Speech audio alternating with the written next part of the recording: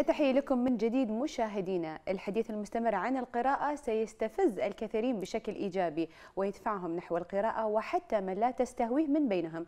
لذلك تحرص جميع الجهات الحكومية والخاصة على إطلاق مبادرات متنوعة تختص بالقراءة لخلق جيل قارئ ومثقف وواعي واستجابة لمبادرة صاحب السمو رئيس الدولة حفظه الله بجعل عام 2016 عاما للقراءة. للحديث أكثر عن مبادرات عام القراءة معنا الدكتورة مريم شناصي. رئيس جمعية الناشرين الإماراتيين. يا هلا ومرحبا دكتورة. وشكرا وجودك معنا في هذه الله الفقرة. يسلمكم. يا هلا ومرحبا. حياك الله دكتورة مريم. الله أول شيء طبعا يعني كانت البداية الحديث المستمر عن القراءة سيستفز الكثيرين بشكل إيجابي. هل مم. أنت مع الحديث الكثير عن القراءة حتى يصبح الأمر من كثر ما. يعني تستوعب الناس وتقرأ أو ضد هذا الأمر؟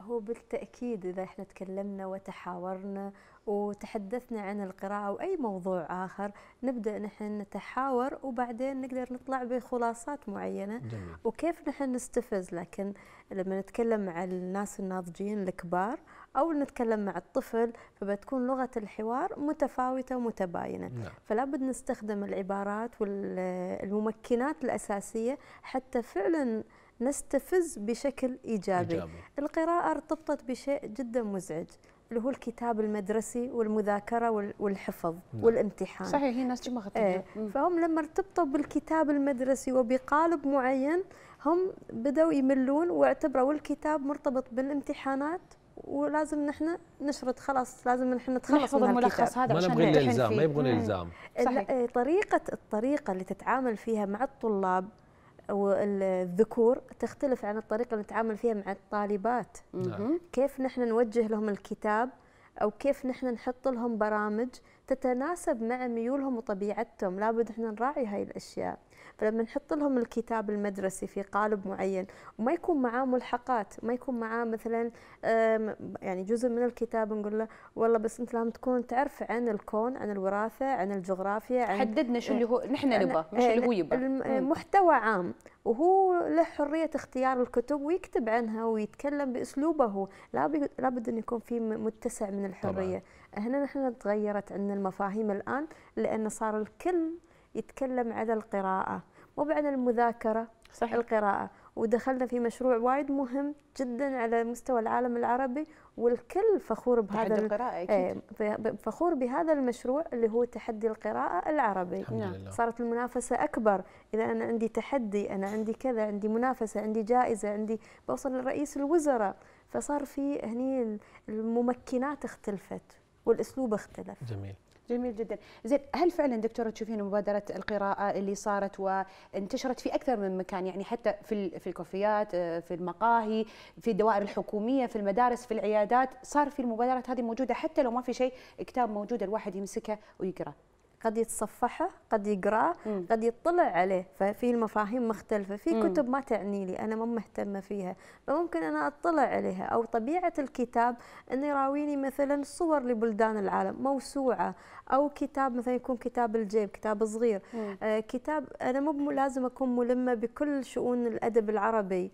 واللي متخصص في الأدب العربي مو بشرط يكون متخصص في العلوم والوراثة وعلم الجينات بس لازم يكون ملم شوي يعني في إلمام أنا مثلا يهمني صفحتين من الكتاب غيري لا مهم عنده أنه يتعمق في الكتاب ميول اللي أنا أحب اقراه. في الكتاب هذا أو يعني يمكن مم. احتياجات معينة صحيح. فما نفرض على الناس الكتاب المدرسي كان قالب آه، جامد ملزم آه، حاصرينه بامتحانات والصفحات اللي ما نبغيها ترى كلها مشطوبة مشطوبة أو نعم. مطرورة من الكتاب. فصار ما في احترام للكتاب. هذه هي المشكلة كانت.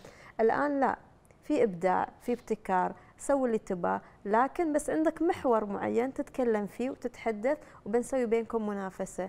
وأنت ليش تقرأ؟ تقرأ لعمرك. ليش تتثقف؟ تتثقف. إذا. نحن الحين بادين مع الأجيال الحديثة الأجيال الصغيرة طلاب المدارس.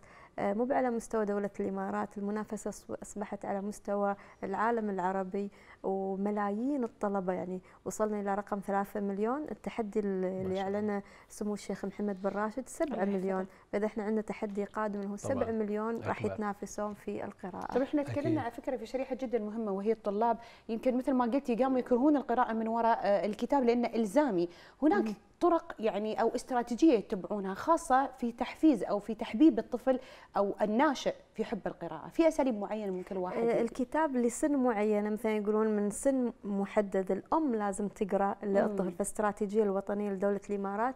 آه، ذكرت أن وزارة الصحة معنية بالمبادرات الخاصة بالمرأة الحامل أن هي لابد أن تعطى كتب مجموعة الحقيبة للقراءة لأنها تثقف نفسها تتعلم كيف تقرأ للطفل من سن صغير حتى في كتب آه، للصغار اللي يكونون من سن سنتين وثلاث وسنة تختلف حسب مدراكهم آه، الفكري. وهي معتمدة على الصورة على صح. الألوان. صح. لكن كل ما يكبر الإنسان لازم تقل الصور هذه ويزيد الكلام. أساس الإنسان يقدر أو الطفل هذا يقدر يقرأ مو بيشوف الصورة ويقول شاف صورة القلم؟ بيقول لك قلم.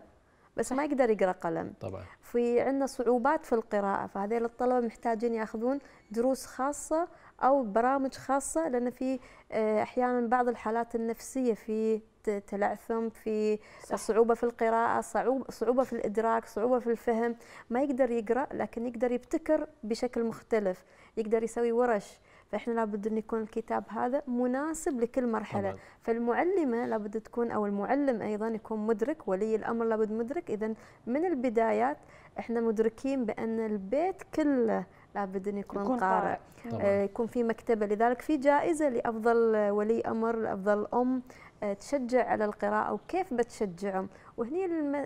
يعني الساحة مفتوحة للجميع المنافسه فيها, فيها والكل والكل لابد إنه يشارك. طب الآن القراءة الإلكترونية. أنت عندك دار نشر صحيح؟ ولذلك مرغمه على قراءة الكتب. ولكن على القراءة الإلكترونية هل أنت مع أو ضد القراءة الإلكترونية؟ وأيضا آه، هل هي أسهل من الورقية؟ نبغى نعرف تجربتك الخاصة.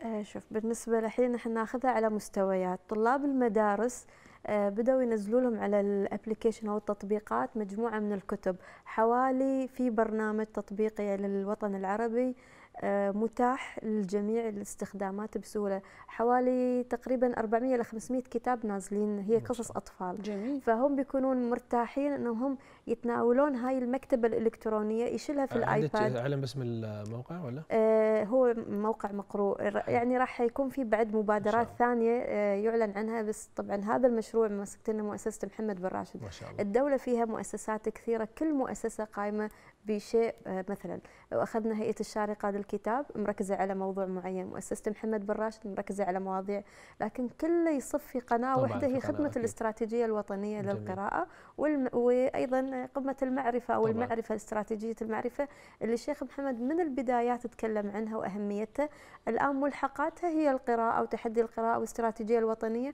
وصندوق الدعم للقراءة لميزانيته تقريبا 100 مليون درهم كلها يت مع بعض. لكن أرجع لسؤالك إن القراءة الإلكترونية هل في تطبيقات معينة قد تسهل التطبيقات هذه؟ إني أقرأ قصة قصة صغيرة هي كلها 12 صفحة 10 صفحات يتصفحها. في برامج ثانية إن القصة هاي نفسها فيها أسئلة وأجوبة فيها بعض التمارين التطبيقات اللي هو يحلها. وبالتالي نحن ما نخسر ورق في ناس يتكلمون من جانب بيئي في ناس لكن إذا قصة قصيرة يختار من ال 400 قصة قصتين في اليوم بحيث إنه ما يجهد عينه ما يجهد نفسه. وبعدين يقدر يمسك كتب ثانية ورقية إذا هو حب. إذا التنوع الآن ما بين إلكتروني ورقي شكل الكتاب آه، في كتب لازم تلمسها لازم تقراها حسب السن. أما الكبار فهي قصة ثانية يعني انهم انه مستحيل أو تقريبا صعب إنك أنت تقرأ كتاب مثلا 400 صفحة أو 500 صفحة آه، إلكتروني. بيكون وايد صعب وله تأثيرات صحية. ممكن صح. نقرأ فقرات. الطلاب الجامعات في التخصصات العلمية الهندسة والطب الأفضل إن يتم تحميل كل الموسوعات والقواميس كمرجع عندهم في الكترونيا. أسهل عليهم فانهم دائما تكون معاهم هاي القواميس. طبعا إحنا نعرف القواميس هاي؟ طبعا. قواميس متخصصة يعني حتى بخ... تكون أسهل, أسهل في, في المجالات الطبية لو أخذنا مثلا العظام هذا بروحهم عندهم صحيح. والبيولوجي عندهم في علم النبات قاموس وفي علم الكيمياء قاموس وفي علم الحيوان عندهم قاموس. بالتالي هني الإلكتروني يسهل شوية في عملية البحث وحمل الكتب. جميل صحيح طبعا. كلام. والتواجد والولوج بكل سهولة. بالضبط إي صحيح. بما لكن في مشكلة في الإلكتروني إن كل شيء متبرمج على بن بنظام أجنبي. علشان المبرمجين يحولون هاي التطبيقات إلى تطبيقات عربية هم محتاجين كثير من الإبداع. قد يكون في شوية ركاكة قد يكون في شوية أخطاء لكن مع استمرار الاستهلاك أو الاستدامة في تناول هاي التطبيقات العالم العربي راح يطور. لأن حد الحين نحن ما طورنا كثير في الابلكيشن أو التطبيقات. اللي هي نحن تتاح كل هاي الكتب إنها تكون آه نطلع عليها الكترونيا. في جانب ثاني إلكتروني اللي هو القراءة المسموعة لأن في عندنا بعض الطلبة أو بعض الحالات اللي عندهم إعاقات صحيح. معينة صحيح. فممكن تكون القراءة هذه تسهل عليهم. الكتب اللي هي الخاصه ببعض الفئات المعاقين ما نريد نحصرها باللي ليس لديهم قدرة على السمع. آه عندنا مشكلة نحن في الأزمات المرورية. والخطوط اللي يمشونها الناس. فإذا القراءة المسموعة ممكن تستخدم بالسيارات بدال سماع الأغاني وسماع الهاي. فممكن أنا أسمع كتاب من خلال تواجدي في السيارة لمدة ساعة وساعه ونص خلال حتى الإذاعة. في الاستفادة. مم. أنا أعرف أحد الأشخاص اللي ما شاء الله. نعم. مو وياك في هالموضوع. ليش؟ بالعكس. لأنه يقل التركيز لا بالعكس أنت عارفين إن على الخط أفضل مكان أنا اجده لسماع القرآن والتركيز على القرآن. وفعلا تعيشين لأن ما عندك أي شيء ثاني. أنت فقط وهاي السيارة وهاي. أعرف أحد الأشخاص اللي فعلا درس ماستر بالسماع من خلال سيديهات ومن خلال flash memory عن طريق سيارته بس في بعض البرامج اللي هي السماعية كان فيها تطبيقات فينصح في البداية عدم سماعها أثناء القيادة لأن البرامج هاي يكون فيها تطبيق يقول لك طبق بالطريقة هذه أو سوي هالتمرين فشوي التركيز يقل فالإنسان يكون بعد حذر أنه يسمع في أشياء يسمعها حتى بنسمع القرآن أو نقرأ بعض الكتب أو نسمعها آه، شوي لازم نسهى ترى. آه، في أنا أنا عندنا أنا, أنا معك في الموضوع لكن حتى في السيارة يعني الواحد لازم يركز فعلا في الشارع. لا والله نحن نحن أنا القرآن أنا سبحان الله روحانيات أنا أقول من يعني عندنا معناته ما شاء الله نحن الرجال إذا عندنا تركيز عالي جدا. إي بالضبط. عبد الله طلع الحين عاد الحين يبغى يحسب الأشياء كلها اللي صالحة لا بالعكس بالعكس. نحن طبعا يعني ثمرة واحدة طبعا ريم. نحن يمكن وصلنا لنهاية الفقرة وإحنا مش حاسين. استفدنا وايد من الدكتورة. يعني أعطتنا كثير من المعلومات اللي فعلا يحتاجها المجتمع ويحتاج انه يسمعها واحاطي أيضا بما يحصل وما يجول في دولة الإمارات عن هذا الموضوع. إذا في سؤال ريم أخير تقولينه؟ طبعا أنا وايد يهمني بما أنك رئيس جمعيه الناشرين الإماراتيين يهمنا نعرف رأيك في مبادرة تحدي القراءة العربي هي تعتبر مفخرة للعرب يعني بدون أدنى شك وهذا المشروع آه لن يتكرر في التاريخ. مستحيل يتكرر. هذا المشروع تحدي القراءة العربي والجميل جدا الشيخ محمد. كان المشروع لدولة الإمارات قال لا أبغي للوطن العربي وهذه يعني ما تحصل من يعني مستحيل تتكرر نعم. أيقونة لن تتكرر في طبعا التاريخ. هو ابروحي لهذا المجال. أكيد. شكرا كلنا ما بيذكرون الله يحفظهم ويطول بعمرهم شكرا لك دكتور. كل الشكر مشاهدينا للدكتورة مريم شناصي رئيس جمعية الناشرين الإماراتيين.